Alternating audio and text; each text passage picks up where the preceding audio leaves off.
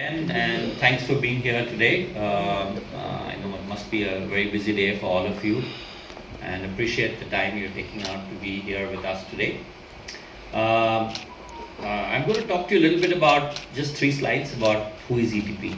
I think it's important to be introduced to someone before you know more about them. So as an introduction, I'll take up a couple of slides.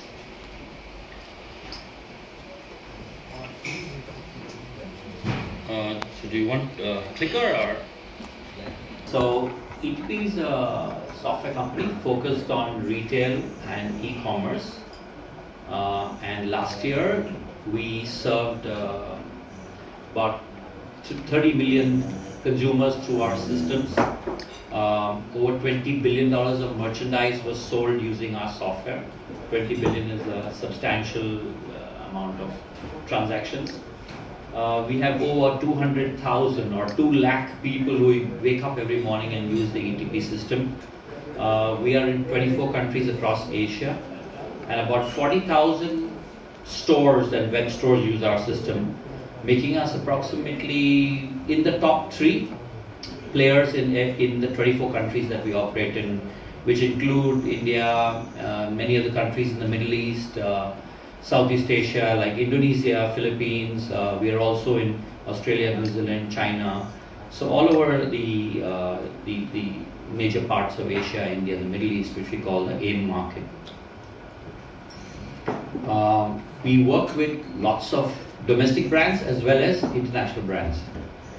So in all countries, we try to work with the local players because we see that a fair share in Asia Pacific will become local brands as they become more and more, you know, uh, mature in the way that they go to market. One good example in Singapore, for example, is Charles and Keith, that started off as a domestic brand, then got an investment from Louis Vuitton Capital, and then actually bought back the investment from LVMH, and are now growing as a pure local brand but growing globally. So it's it's possible actually for local brands to become global brands because all the global brands were once local brands. We have to remember that. So we work with both local and global brands. So we've got, you know, you can see almost anyone you can mention is working with us in all these regions that we work in.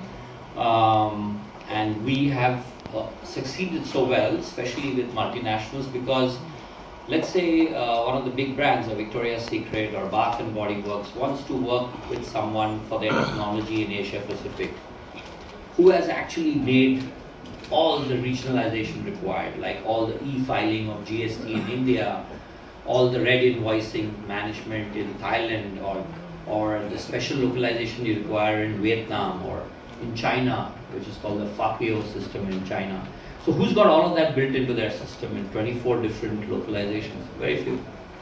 Definitely not uh, the, the, American companies. They can't compete. They, for them, they're used to one big platform, one localization, one currency, and off you go, right? Uh, we are the ones who deal with complexity. If you come from India, you understand complexity, right? There are five ways to get to one place, and all of them will take 30 to 70 minutes. So that's why you have to plan your day. So, uh, okay, that's all about ETP. Uh, we'll have a Q&A later if you want to ask any more questions about the company. Uh, I'll be very happy to answer what I can. You can calculate it's, uh, you know, a few thousand man years of work that went into building these platforms. Uh, we'd like to thank uh, our customer advisory board for helping us to have the vision to and the inspiration to build these platforms. I'll just say this, but if you go out there in the rest of the world, including the US and Europe, you will not find such advanced technology platforms uh, being launched and successful in the market as what we have today. So we have here, you know, uh, members from like Arun Katpalia from Benetton, Sujat from Valiram Group, Chidanand from Titan Group, Murli from Victoria's Secret, Arun from MAP, so on and so forth. I mean, we have some of the best of the best uh, brands and customers on our customer advisory board. And we meet regularly and they, you know, tell us, okay, this is the vision our company has for e-commerce. Or this is what we wish we could do for the retail industry. And we take those and, you know, say, okay, this is what the market wants or market aspires to. Let's build ahead of that. So I mean, how many people have heard of Ray Kurzweil? Anybody heard of Ray Kurzweil? Okay, he's the most preeminent futurologist in the world. So, I mean, he's been like somebody I've admired since I was like 10 years old. He invented voice recognition. He invented the first electric piano. He's that kind of a genius. And he runs an institute of futurology, an institute of looking at the future. And he also uh, has this uh, whole concept called the singularity where human beings and AI will start to communicate at the neural level. So, I mean, that's all stuff that I enjoy talking about, that's a different topic. But what he said is uh, our intuition or what we can think about the future is linear. And if we go and uh, look, take 30 steps, I get 30 steps ahead. But what if you uh, use technology, technology is exponential, then you will get a billion steps ahead. So technology is used to create technology, and you can multiply uh, your progress with technology, and that's the that's one of the ways that we have approached our platform. I'll show you how. So looking at tomorrow's future, uh, one of the big things that's happening is the convergence of AI and robotics. So if you see, we had robotics 20 years ago. If you went to a plant of let's say Mahindra Mahindra or Tata or you know anybody uh, making tractors or whatever, you had robots which did welding of cars, you know joints and all that.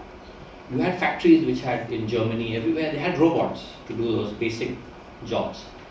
But the software that ran those robots was not self-learning. It did not keep improving the way it did the job. It did not have machine learning. So it was just a static software running a robotic machinery. Today, imagine that same machinery has an intelligent software, an artificial intelligence, which can tell it how to do this job better. Not only will your productivity increase, but it will come and give you feedback on how to make a better car, make a better tractor, or make a better whatever.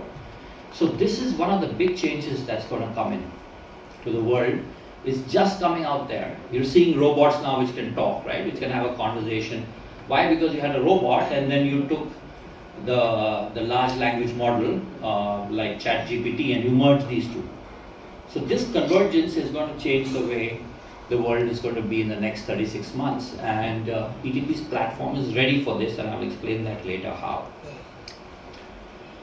Information anywhere all the time. I think we are almost there. If you look at your phone, we do almost anything on the phone, right? You can do your email, you can do your messages, you can watch videos, you can do video calls with your family far away. So, you know, for business, it's not the same. There's too much problems with security, too many problems with security, not much. So, information is not available to all business people or, or professionals everywhere on their mobile phone.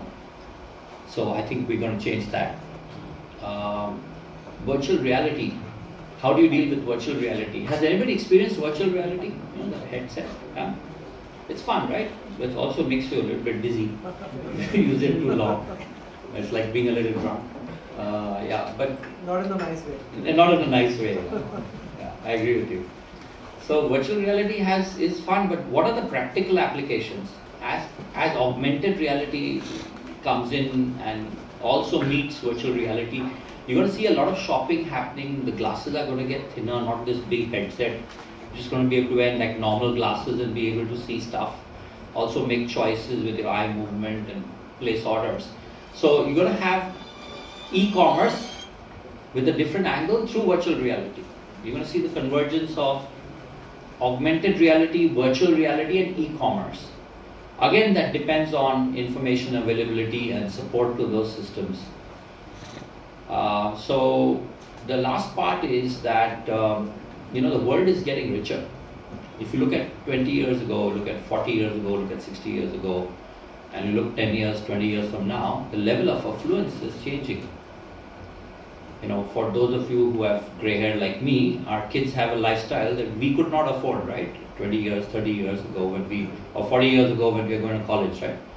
We couldn't afford things they can afford. That's why they're a little more chilled out than we are, which is great, but you know, it's different. So people will have more spending on luxury and leisure because they are more secure, right? So the more secure you are, the more you will spend your money. We were like, save your money, save your money, you know, uh, you don't have enough. So that scarcity will move to abundance. And so is, is our companies ready for that? So what we have done is we have focused on building our new platforms on an architecture called uh, MAC architecture, which is M for microservices. That means everything is broken into sort of one large platform of software. We've broken it into 400 small pieces. Each one of those pieces, as is relevant, can at any time can talk to a robot. It can talk to uh, a virtual reality instrument. It can talk to an e-commerce site it could be just, is this my client? Is this your right phone number? What is the price of this product? It could be any, one of those queries. But 400 of those services can independently collaborate with, uh, as independent functions without affecting each other, multiple parallel instances uh, with any number of devices and instances. And since it's API first um, and it's cloud native, the, the scalability and extensibility of the system is unlimited. And the important part is that it's headless, which means that the interface that you see is one of the options that we have given you for using this system. Remember we said uh, information anywhere, everywhere, all the time? So it could be tomorrow that you, let's say you're doing a Google search. And in that Google search, you just say, okay, tell me more about the sales on Flipkart yesterday and you can just add another part saying versus my sales. It will fetch Flipkart sales data as published by Flipkart, but it will also go inside your system, fetch your sales data, and compare the two. How? Because your data is available through an API, which is headless. That means it can come even through a Google search or any kind of other search. It suddenly makes your decision making very, very different. So this architecture is very powerful. Um, the other other strengths we have is we are IoT ready, which means the Internet of Things. I think a lot of you may have experienced smart bulbs and you know various other things, but it's smart everything now. I mean, except human beings. The rest is all becoming smarter now. So um, I think we are IoT ready. We are certified. We know all the IEEE standards, so we comply by them. Uh, we've taken a different approach to artificial intelligence. So we have artificial intelligence built into our systems, which uh, Veer and Bhavish will talk more about, Nee will talk a bit as well. But the thing is we're taking a black box approach, which means that there is one layer called the AI layer. And along with any customer who wants can give us an algorithm or an idea on what to implement. We just write the algorithm, boom, starts working.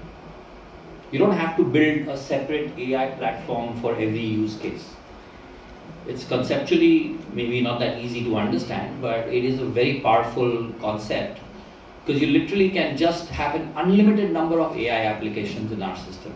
There's no limit to being fixed or hardwired as you know it has three AI applications. Um, and we worked very hard to make the system look uh, good. You, you'll see a demo of the system shortly. We made sure it's very secure. We